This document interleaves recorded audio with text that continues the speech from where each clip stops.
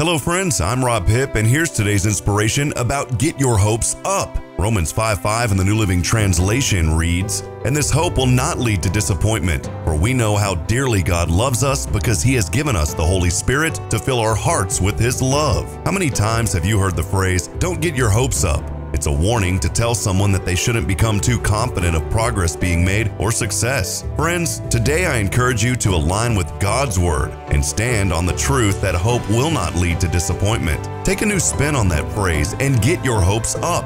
Why would you not want to have the confidence to succeed and make progress in a task? Aim for the stars. Set your focus on God and ask Him to guide and bless you along whatever journey you are taking. If you don't succeed at first, continue to ask for God's favor as you honor Him. And when you do succeed, thank Him.